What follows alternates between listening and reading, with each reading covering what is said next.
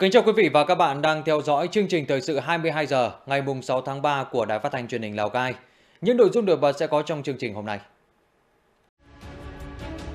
Quân khu 2 tổ chức hội nghị gặp mặt Ban tuyên giáo tỉnh ủy, 9 tỉnh và các cơ quan thông tấn báo chí năm 2024. Lan tỏa phong trào thể dục thể thao truyền thống trên địa bàn tỉnh. Tục ăn Tết lại, nét văn hóa nghìn năm tuổi ở Hà Nội. Tin quốc tế, mạng xã hội X thắng hầu hết các vụ kiện bản quyền nhạc số. Sau đây là nội dung chi tiết. Thưa quý vị và các bạn, ngày 6 tháng 3 tại tỉnh Lai Châu, Cục Chính trị Quân khu 2 phối hợp với Ban tuyên giáo tỉnh ủy Lai Châu tổ chức hội nghị gặp mặt Ban tuyên giáo tỉnh ủy 9 tỉnh và các cơ quan thông tấn báo chí năm 2024. Dự hội nghị có đồng chí Vũ Mạnh Hà, Ủy viên dự khuyết Ban chấp hành Trung ương Đảng, Phó Bí thư Thường trực tỉnh ủy Lai Châu, Thiếu tướng Nguyễn Hồng Thái, Phó Chính ủy Quân khu 2, lãnh đạo Bộ Tư lệnh, Cục Chính trị Quân khu 2, các sở ban ngành tỉnh Lai Châu, Ban tuyên giáo, cơ quan báo chí các tỉnh Hà Giang, Tuyên Quang, Yên Bái, Lào Cai, Điện Biên, Sơn La, Phú Thọ và Vĩnh Phúc. Năm 2023, hoạt động phối hợp tuyên truyền đã được Cục Chính trị Quân khu, Ban tuyên giáo, báo Đài 9 tỉnh triển khai thực hiện nghiêm túc, chặt chẽ, hiệu quả, nội dung tuyên truyền toàn diện, hình thức phong phú đa dạng. Kết quả hoạt động phối hợp tuyên truyền đã góp phần khơi dậy lòng tự hào, ý thức trách nhiệm của cán bộ, chiến sĩ lực lượng vũ trang quân khu và nhân dân trong giữ gìn và phát huy bản chất, truyền thống tốt đẹp của dân tộc, của quân đội nhân dân Việt Nam anh hùng, truyền thống và những chiến công của quân dân Tây Bắc trong sự nghiệp đấu tranh cách mạng, xây dựng và bảo vệ Tổ quốc. Phát biểu chỉ đạo tại hội nghị, Thiếu tướng Nguyễn Hồng Thái, Phó Chính ủy Quân khu 2 đề nghị các đơn vị phối hợp cần nắm vững và thực hiện đúng quan điểm, đường lối, nghị quyết của Đảng, nhiệm vụ của quân đội, quân khu và nhiệm vụ chính trị của địa phương. Tiếp tục nghiên cứu đổi mới nội dung, hình thức phối hợp tuyên truyền, có nhiều mô hình hay, cách làm hiệu quả, sáng tạo phù hợp với đặc điểm của địa phương đơn vị, nhất là vùng đồng bào vùng sâu, vùng xa, biên giới, đồng bào dân tộc thiểu số. Dịp này, quân khu 2 đã tặng bằng khen cho 4 tập thể, 32 cá nhân đã có thành tích xuất sắc trong công tác phối hợp tuyên truyền giữa quân khu 2 và 9 tỉnh trên địa bàn quân khu năm 2023. Trước đó, đoàn đại biểu dự hội nghị đã dâng hoa tại tượng đài Bắc Hồ với đồng bào các dân tộc tỉnh Lai Châu, tham quan tại bản du lịch Xin Suối Hồ, xã Xin Suối Hồ, huyện Phong Thổ. Ngày 6 tháng 3 tại xã Thanh Bình, Ban chỉ đạo xây dựng nông thôn mới huyện Mường Khương tổ chức lễ giao quân phát động phong trào thi đua chung sức xây dựng nông thôn mới và phong trào thi đua thực hiện nghị quyết số 10 của Ban Thường vụ tỉnh ủy. Trong những năm qua, chương trình xây dựng nông thôn mới tại Mường Khương đã huy động sự vào cuộc của cả hệ thống chính trị, phát huy vai trò chủ thể của người dân trong thực hiện các công trình phần việc đề ra. Năm 2023, huyện tiếp tục duy trì và hoàn thành mới 22 tiêu chí, nâng tổng số tiêu chí nông thôn mới toàn huyện đạt 122 lượt tiêu chí, bình quân đạt 7,46 tiêu chí trên một xã. Thực hiện nghị quyết số 10 của Ban Thường vụ tỉnh ủy, huyện đã chuyển đổi 1.174 ha đất sản xuất kém hiệu quả sang trồng 541 ha chè, 140 ha dứa, 231 ha chuối, 273 ha quế. Giá trị sản lượng các ngành hàng chủ lực đạt trên 784 tỷ đồng. Năm 2024, huyện Mường Khương phân đấu hoàn thành thêm 30 tiêu chí nông thôn mới tại 6 xã, Bản Lầu, Bản Sen, Lùng Vai, Thanh Bình, Phan Long và Nậm Chảy. Xây dựng 4 thôn nông thôn mới và một thôn kiểu mẫu. Tiếp tục chuyển dịch cơ cấu cây trồng, phát triển mở rộng cây chủ lực và tiềm năng, đầu tư thâm canh và áp dụng các tiến bộ kỹ thuật để nâng cao năng suất chất lượng, phân đấu giá trị sản lượng nông sản chủ lực đạt trên 1.000 tỷ đồng. Ngay sau buổi lễ, các đại biểu cùng bà con nhân dân đã trồng mía, làm cỏ, bón phân cho cây chuối,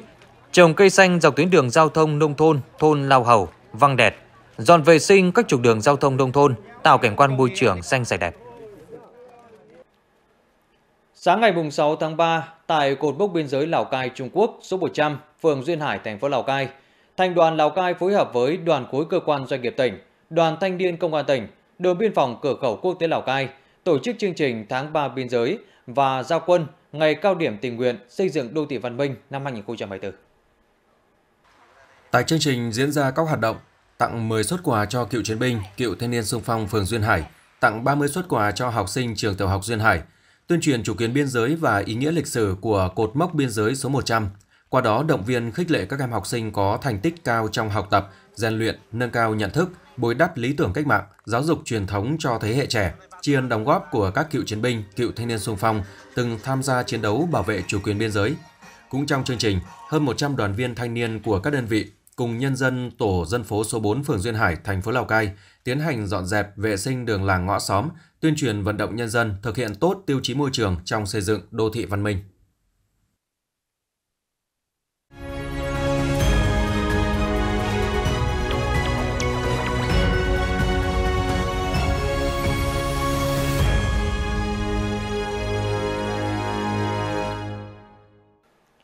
Phong trào thể dục thể thao quần chúng trên địa bàn tỉnh đang phát triển rộng khắp, từ thành thị đến nông thôn với nhiều hoạt động đa dạng phong phú đã góp phần lan tỏa lối sống khỏe trong cộng đồng. Ghi nhận của nhóm phóng viên thời sự. Sau mỗi giờ tan học, các em học sinh trường Trung học phổ thông chuyên Lào Cai lại tích cực luyện tập các môn thể thao mà mình yêu thích. Tinh thần tập luyện nghiêm túc nhưng cũng đầy vui vẻ, sôi nổi đã mang đến cho các em những giây phút thoải mái sau những giờ học.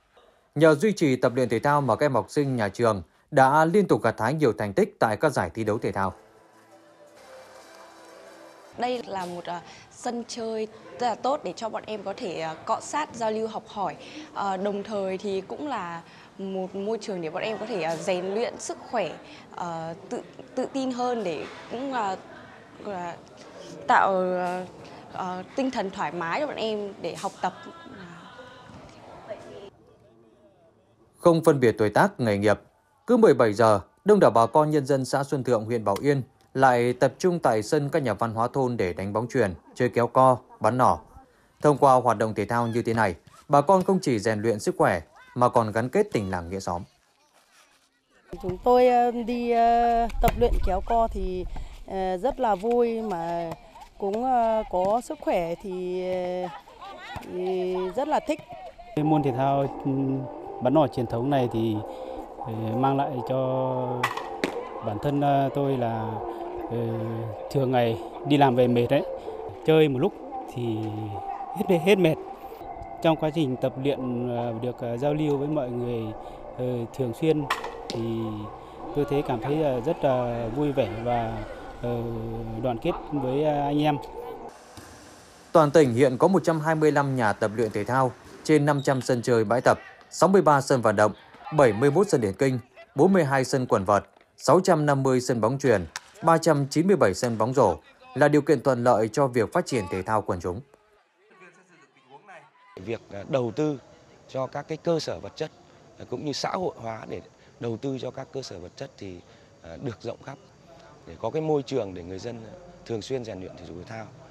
Chính vì vậy là số lượng người tham gia các cái giải thể thao đông lên và số lượng các cái môn thể thao mới và được cập nhật và mọi người tham gia cũng được à, đông lên. Cái sự lan tỏa từ cấp cơ sở trở lên cũng rất là mạnh mẽ.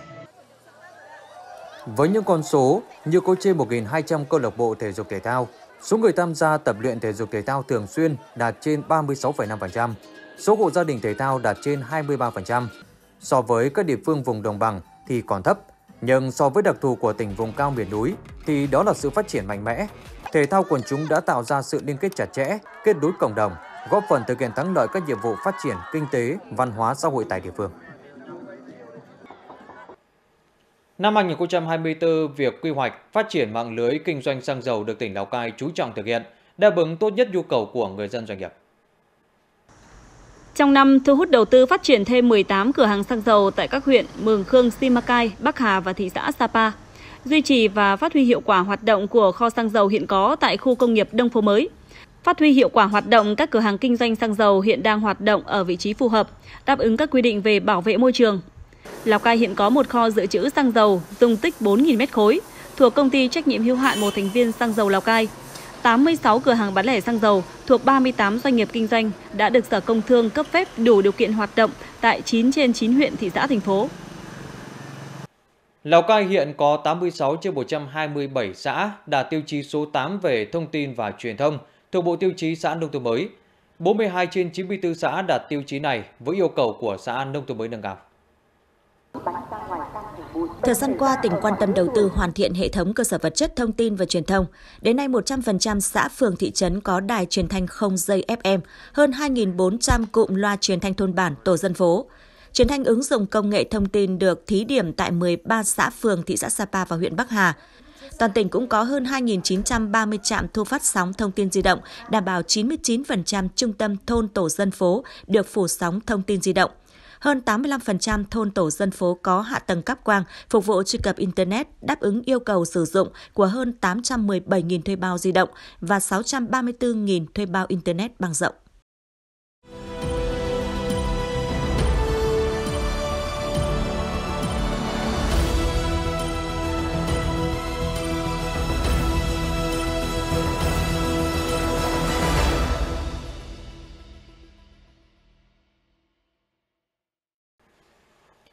Đến Tôn An Thành, xã Quang Kim, mỗi người sẽ có cảm nhận riêng khi đứng trước những cánh đồng trải dài màu xanh với hương thơm dễ chịu, mát lành từ các loại rau gia vị. Trong phóng sự sau, mời quý vị và các bạn cùng đến với mô hình trồng rau gia vị truyền thống của gia đình chị Trần Thị Thơm, là nông dân sản xuất giỏi của huyện Ba Sát. Năm 2012, vợ chồng chị Trần Thị Thơm chuyển từ Yên Bái lên xã Quang Kim sinh sống. Xuất phát từ nhu cầu rau gia vị trên thị trường, gia đình chị thuê 6.000 m2 đất ruộng để trồng các loại rau, húng chó, húng xoăn, ngải cứu và ngổ. Vừa làm vừa học hỏi, đúc rút kinh nghiệm, chị Thơm đã nắm được quá trình sinh trưởng, cách chăm sóc rau theo từng điều kiện thời tiết khác nhau. Đến nay, diện tích trồng rau gia vị của gia đình chị đã lên tới gần 1 hecta. Nhưng mà cái dòng rau thơm này thì là cấy xuống thì ví dụ 2-3 năm chúng tôi mới phải đảo lại đất để cấy. Là cái cái cái ờ, uh, sức công sức mà để chăm sóc để bỏ ra để cải tạo đảo lại đất ấy thì là tôi đã nó nó thấy nó ổn định hơn nó không mất nhiều cái cái công để vào mình mình cấy.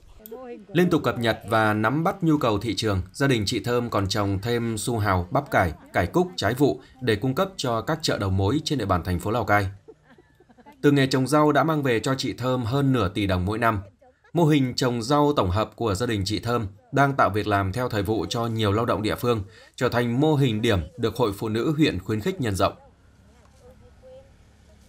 Đối với hội viên thơm thì là từ khi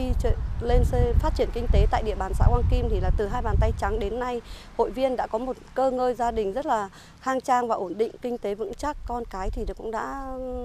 ờ, chăm ngoan học giỏi và ừ, gia đình đến nay kinh tế hoàn toàn ổn định và bền vững và hiệu quả. Mô hình trồng rau tổng hợp của chị Trần Thị Thơm đang góp phần thúc đẩy chuyển đổi cơ cấu cây trồng, tiếp thêm niềm tin, động lực để người dân địa phương vươn lên làm giàu trên đồng đất quê hương.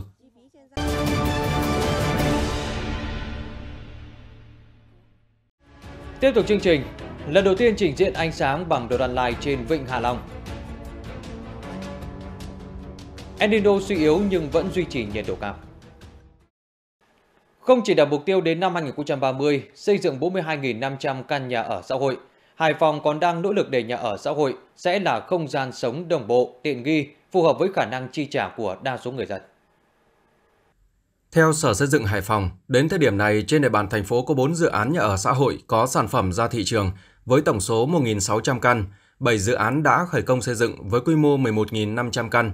Ngoài ra, 8 dự án chuẩn bị khởi công và 11 dự án đang hoàn thiện thủ tục để lựa chọn chủ đầu tư. Dự kiến có sản phẩm trước năm 2030. Giai đoạn 2021-2030, Hải Phòng phấn đấu tổng số căn nhà ở xã hội được xây dựng là khoảng 42.500 căn, vượt so với chỉ tiêu chính phủ đề ra là 33.500 căn, đáp ứng nhu cầu đa dạng của người dân. Trong chương trình Carnival Hạ Long Hè tỉnh Quảng Ninh năm 2024, lần đầu tiên sẽ có trình diễn ánh sáng bằng máy bay không người lái xếp hình, còn gọi là đồ đàn này.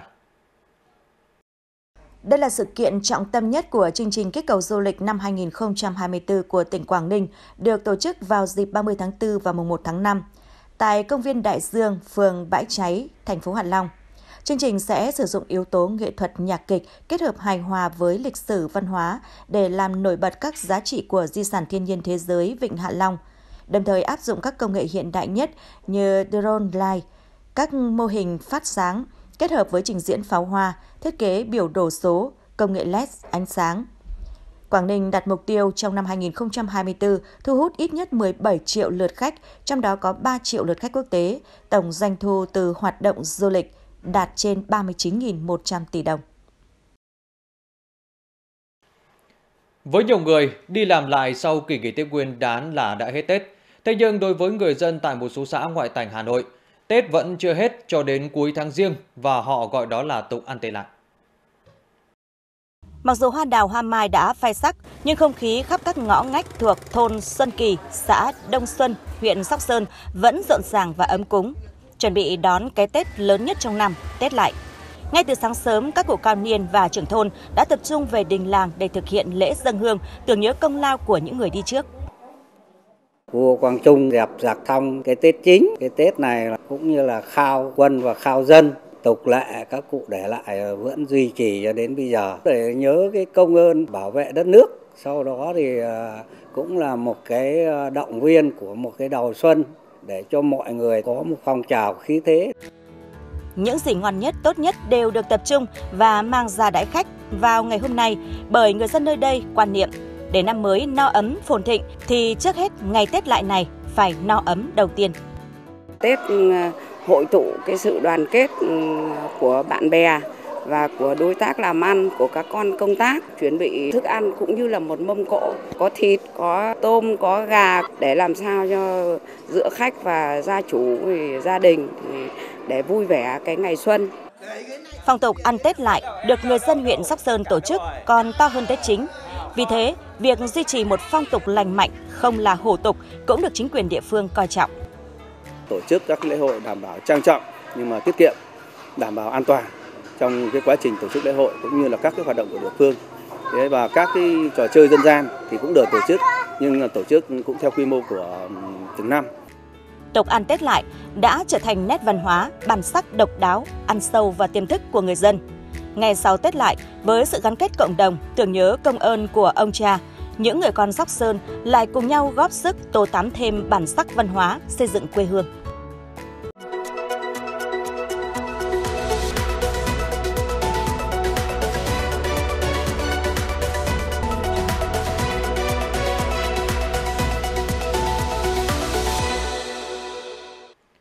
Chương trình để tiếp tục với những thông tin thời sự quốc tế. Thưa quý vị và các bạn, ngày 5 tháng 3, Thủ tướng Peru Alberto Otarola đã tuyên bố từ chức trong bối cảnh nhà lãnh đạo bị cáo buộc lợi dụng chức quyền trong việc ký kết hợp đồng lao động của chính phủ. Phát biểu trước báo giới, ông Otarola cho biết ông đã thông báo quyết định từ chức với Tổng thống Peru Dina Boluarte. Quyết định trên của Thủ tướng Otarola được đưa ra trong bối cảnh hồi cuối tuần trước, truyền thông Peru đã công bố đoạn ghi âm cuộc trò chuyện thân mật giữa ông Otarola với một phụ nữ tên là Pinedo. Người phụ nữ này sau đó đã giành được các hợp đồng lao động với số tiền 14.000 đô la Mỹ liên quan đến công tác lưu trữ và hành chính cho chính phủ. Ông Otarola đã phủ nhận mọi hành vi vi phạm luật lao động của Peru hoặc các hành vi sai trái khác. Nga đã tiến hành các biện pháp để tăng cường lực lượng ở các hướng chiến lược phía Tây và Tây Bắc nước này, trong bối cảnh Nga đặc biệt quan ngại về vấn đề an ninh ở các khu vực này. Theo Bộ trưởng Quốc phòng Nga Sergei Shoigu, Nga đã thành lập hai nhóm lực lượng khu vực chiến lược quân khu Leningrad và Moscow trong bối cảnh tiềm lực quân sự của NATO gần biên giới Nga được tăng cường thông qua việc mở rộng liên minh với sự gia nhập của Phần Lan và Thụy Điển trong tương lai. Theo ông Shoigu, sắc lệnh của Tổng thống Nga Vladimir Putin hôm 26 tháng 2 vừa qua đã quy định việc thành lập Bộ phận Hành chính quân sự của Nga. Các biện pháp được thực hiện sẽ làm tăng đáng kể hiệu quả điều chỉnh các đơn vị và lực lượng mới. Trong thông điệp liên bang ngày 29 tháng 2, Tổng thống Putin đã xác nhận sẽ tăng cường sức mạnh quân sự ở biên giới phía Tây. Mạng xã hội X của tỷ phú Mỹ Elon Musk ngày 5 tháng 3 đã thắng hầu hết các vụ kiện về vi phạm bản quyền nhạc số. Vụ kiện do 17 nhà xuất bản âm nhạc đệ trình với các buộc mạng xã hội này vi phạm bản quyền gần 1.700 ca khúc khi cho phép người dùng đăng nhạc trực tuyến không xin phép. Theo phán quyết dài 21 trang của Tòa Sơ thẩm Liên bang thành phố Nashville, bang Tennessee của Mỹ, X không phải chịu trách nhiệm trực tiếp về hành vi vi phạm theo luật bản quyền liên bang vì nền tảng này chỉ cung cấp không gian cho nội dung do người dùng tạo ra. Phán quyết cũng cho rằng X không phải chịu trách nhiệm gián tiếp về hành vi vi phạm, theo đó không có nghĩa vụ kiểm soát nội dung của người dùng hoặc xin phép bản quyền âm nhạc trước. Do đó, tòa đã bác bỏ hai khiếu kiện vi phạm và hạn chế khiếu kiện thứ ba về hành vi vi phạm có tính chất bổ sung. Hiện tượng Endido đã bắt đầu suy yếu, nhưng vẫn tiếp tục làm tăng nhiệt độ trung bình toàn cầu. Nhận định trên được Tổ chức Khí tượng Thế giới WMO đưa ra hôm 5 tháng 3.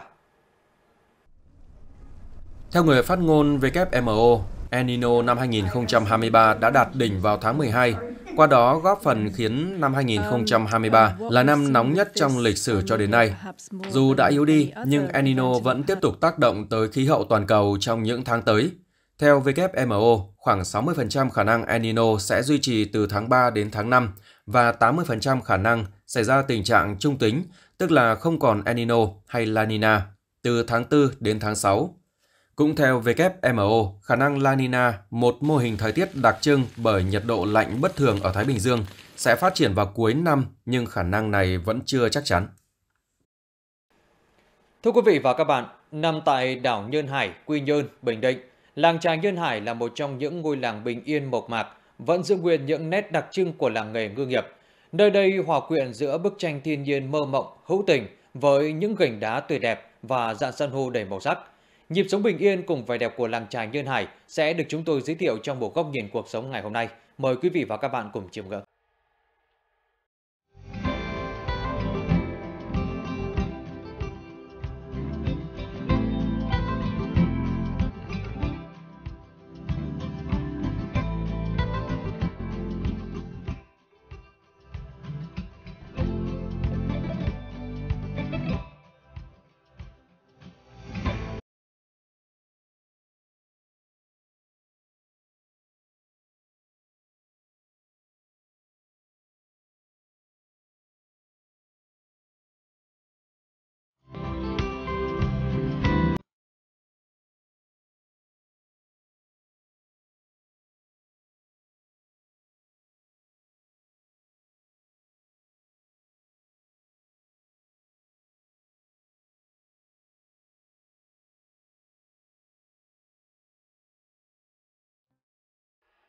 Chương trình thực sự của Đài Phát thanh Truyền hình Lào Cai xin được khép lại tại đây. Cảm ơn sự quan tâm theo dõi của quý vị và các bạn. Xin kính chào tạm biệt.